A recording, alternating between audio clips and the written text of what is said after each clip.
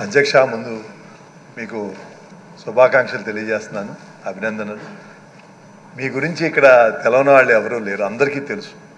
నాకు కూడా దాదాపు నలభై రెండేళ్ళ నుంచి అతీతంగా రాజకీయాలకి అన్నికి అతీతంగా మనం స్నేహంగా ఉన్నాం.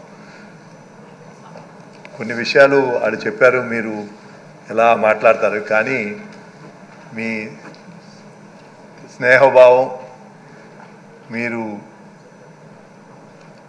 నమ్మిన సిద్ధాంతానికి కట్టుబడి ఉంటాం. అలాగే నిష్కర్షగా నిర్మోహంగా మాట్లాడతాం. మోస్ట్ డిపెండబుల్ పర్సన్గా మీరు ఒక మంచి పేరు తెచ్చుకున్నారు.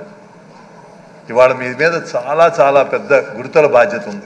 ఎందుకంటే ఈ సభలో ఎన్నికైన వాళ్ళు స్వాతంత్రానికి ముందు పుట్టిన వాళ్ళు ఇద్దరు ఉన్నారు. వరదరాజు రెడ్డి గారు బుచ్చి చౌదరి గారు. కానీ వాళ్ళకు కూడా స్వాతంత్రం ఎలా వచ్చిందో తెలియదు కానీ మొన్న జరిగిన ఎలక్షన్లో ఆంధ్ర రాష్ట్ర ప్రజలు స్వాతంత్రం ఎలా జరిగింది ఎలా తెచ్చుకున్నారనే దానికి ఒక రుజువు మొన్న జరిగిన ఎలక్షన్. స్వాతంత్ర పోరాటం ఏం జరిగిందో తెలియదు మొన్న ప్రజలు ఆ రకంగా తీర్పిచ్చారు ఎన్డీఏకి. మళ్ళా ఈ గాడి తప్పిన దాన్ని చంద్రబాబు నాయుడు గారు అయితే గాడిలో పెట్టగలరనే నమ్మకంతో ప్రజలు ఇచ్చారు. దీనికి ఈ జరిగినట్లో శాసనసభలో జరిగిన అకృత్యాలు భాష. రాజకీయాలంటే జుజు అసహ్యం వేసే విధంగా రాజకీయ నాయకులు మాట్లాడిన భాష. ఇలా ఉంటారా ఎమ్మెల్యేలు? ప్రజలు బుద్ధి చెప్పారు. అమాయకులు అనుకోమాకండి అవస అవసరం వచ్చినప్పుడు చెప్తారు.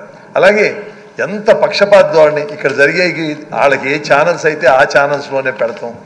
అలాగే గౌరవ ఏ ప్రతిపక్ష నాయకుడిని ఎంత అవమానంగా అంటే ఆయన తలదించి కూర్చుంటే అంటే మనం చేస్తాన్ని మంచి అనుకున్నారు. అందుకని మీ మీద దానివల్ల మనం కూడా కొన్ని తప్పులు చేశాం.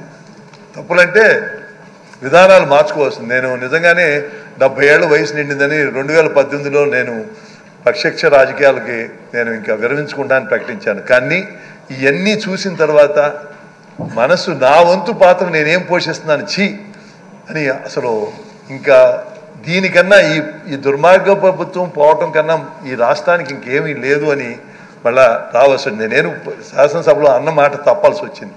నేను మీకు కోరేది ఏంటంటే ఇవాళ ప్రజలు చాలా ఎక్కువ ఎక్స్పెక్ట్ చేస్తున్నారు మన మీద. అందుకని అర్థవంతమైన చర్చలు జరిగి ఈ శాసనసభ ద్వారా మళ్ళా అట్లాంటి చీకటి రోజులు రాకుండా చూడవలసిన బాధ్యత మీ మీద ఉంది. తప్పకుండా మీకు మేమందరం సహకరిస్తామని చెప్తూ సెలవు తీసుకుంటున్నాను. ఇప్పుడు రఘురామరాజు గారు